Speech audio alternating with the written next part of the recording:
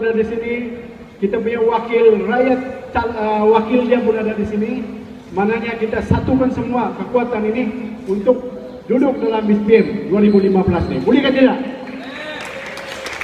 Belum kuat lagi, boleh kan?